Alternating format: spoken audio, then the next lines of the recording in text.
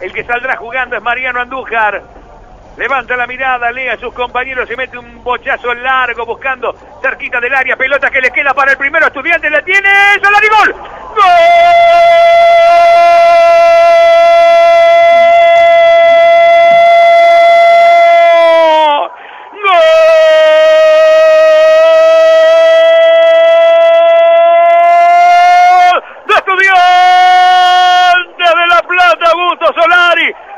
Minuto de juego salió Andújar con una pelota en profundidad.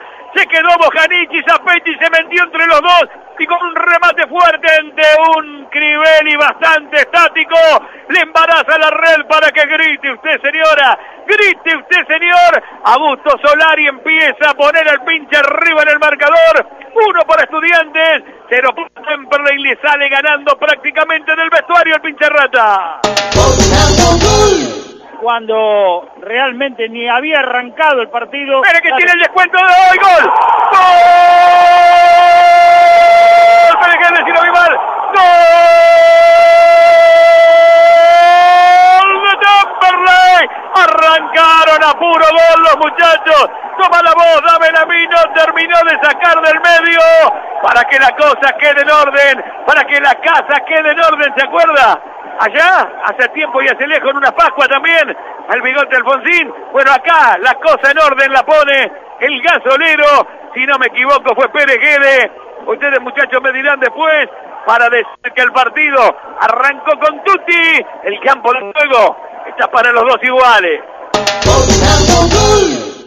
Iba a decir en el gol de estudiante que ni había arrancado, no se habían acomodado los equipos todavía tampoco se acomodaron. El partido está 1 a 1. Ojalá, ojalá esto siga así. Vamos a ver un partidazo. Atención con los quedos de la pelota fundamental.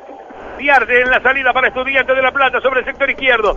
Pelota contra el área, la quiere jugar Beatriz, se la baja Auski. Excelente apertura para Solari, va a buscar dentro del área, la descarga, el golpe de cabeza y gol. ¡Gol!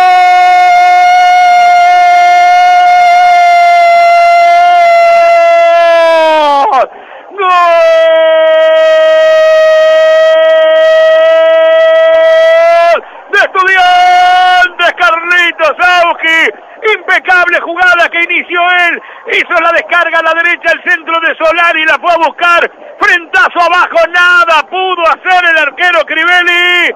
Y a los ocho minutos todavía no se habían cumplido. Vamos a dejarlo en los siete. Estudiantes es para que grite usted, señora. Grite usted, señor. Carlos Sauski pone arriba el pinche en el marcador. Dos por uno. Está ganando el gasolero. Claro, la moraleja sería tanto va el cántaro a la fuente, me refiero a Carlos Sauski, que insiste, algunas le salen mal, termina mal. Lo cierto es que fue la mejor jugada del partido y termina en gol. Este gol que pone a estudiantes arriba y que ahora deberá cuidarse, tratar bien la pelota si se quiere llevar algo de aquí de, Teatro de Turdera. Balón para Solari, no se lo pueden sacar. Se la deja para el Colorado Gil, remete por izquierda, mete una pase rastrero el arquero. Le pegó al arco y el arquero en una respuesta excelente la termina sacando balón que duerme en el córner para Estudiantes. El segundo para el pitcher en este segundo tiempo. Y ahí lo tiene casi en 43 minutos. Estudiante que se toma toda la paciencia. ¿Quién es el que le va a pegar a esa pelota? ¿Otra vez Gil o Mueres? El Colorado Leonardo Gil. Gil, sí señor, el Colorado Gil que va a entrar a esa pelota el partido que ya está entrando en el ocaso. Ahí el centro de estudiantes gana el pincha 2 a 1. El centro que viene. Varios para el golpe de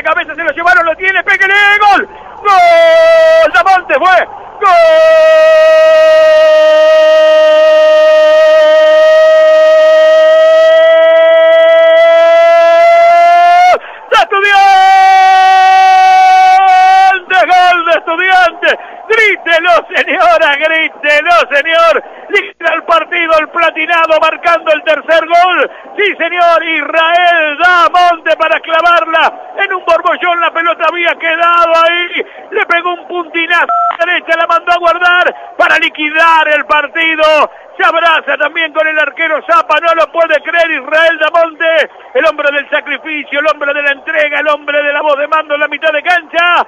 Le cierra, le baja la persiana al partido. Tres para estudiantes, uno para el y en los momentos en que Temperley tenía la pelota, que se había acercado, que por momentos le cascoteó el rancho, apareció el temple del pincha, que otra vez empezó a acercarse a Criberi con algunos eh, dos tiros de esquina consecutivos, con jugadas de riesgo frente al arco visitante, apareció un rebote, una pelota que le dio por perdida a Israel Lamonte y le da cifra definitiva al partido. Ahora sí, desahogo total en todo el banco de suplentes albirrojo por el lado de Iván Delfino, que toma la cabeza el pelado, sabe que el partido está perdido.